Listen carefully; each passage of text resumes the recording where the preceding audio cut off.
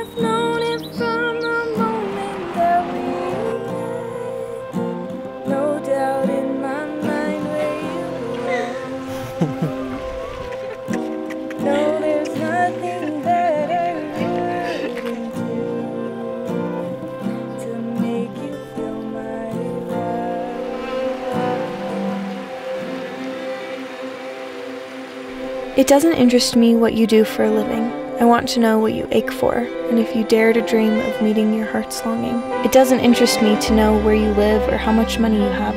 I want to know if you will risk looking like a fool for love, for your dreams, for the adventure of being alive. I want to know if you have touched the center of your own sorrow. I want to know if you can see beauty, even when it's not pretty. I want to know what sustains you from the inside when all else falls away. I want to know if you will stand in the center of the fire with me and not shrink back.